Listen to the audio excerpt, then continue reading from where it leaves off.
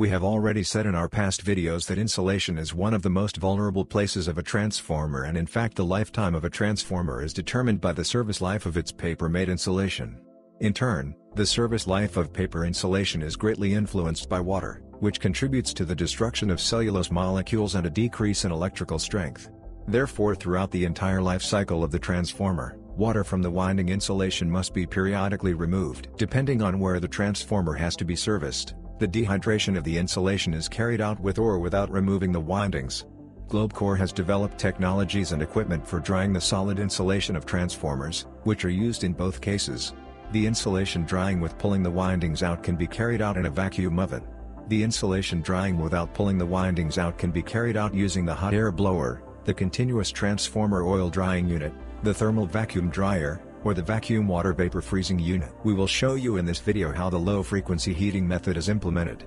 It is one of the most advanced transformer winding drying methods in terms of water extraction efficiency, as well as saving time and energy. When an alternating current passes through a conductor, electrons that move in an orderly manner and at a certain speed collide with the atoms of the substance from which the conductor is made. In this case part of the energy of the electrons is converted into heat and the conductor heats up. The idea behind the low-frequency heating method is to make heat produced controllable and to use it to remove water from the winding insulation. In order to put this method into practice, we need to use a frequency converter to convert the network 3-phase current with a frequency of 50 or 60 Hz into a 3-phase current with a frequency of 1 Hz. In this case the value of the amplitude of the converted current should not exceed the nominal value of the current for the high voltage winding. Further the current of already low frequency is supplied to the high voltage windings of the disconnected transformer, while the low voltage windings are short-circuited.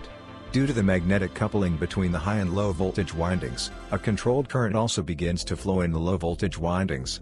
As a result of the flow of low-frequency currents, the high and low voltage windings are heated from the inside to a typical drying temperature of 110 to 120 degrees Celsius. To prevent overheating, the temperature of the windings is constantly monitored during the drying process. Due to the fact that when heated by low-frequency currents, the heat source is the winding itself and the heating comes from the inside, the removal of water from the thickness of the insulation proceeds faster and more completely in comparison with other heating methods. The low-frequency heating method can be used both for drying new windings before they are installed into the transformer, and also for drying windings of aged transformers. When drying new windings the low-frequency heating method can be used in conjunction with vacuum chambers to improve efficiency. In this case low-frequency currents warm the windings up well, and the released water in the form of steam is removed from the chamber due to evacuation. When drying the windings of aged transformers it is possible to use thermal vacuum drying or vacuum freezing of water vapor together with a low-frequency heating module simultaneously. This eliminates the need to pull the windings out of transformer.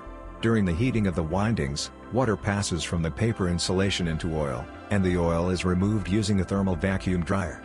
After one drying cycle the water content in the transformer solid insulation does not exceed 1%. The low-frequency heating method can be used to dry the windings of new or functioning transformers of any size in repair shops and in the field. High-quality drying using low-frequency heating increases the electrical strength and extends the life of the transformer's solid insulation by at least 10 years and most often more. What methods do you use for drying transformer insulation? Please, share your experience in the comments. To not miss our new videos on the topic of transformer maintenance, subscribe to the GlobeCore channel and receive notifications.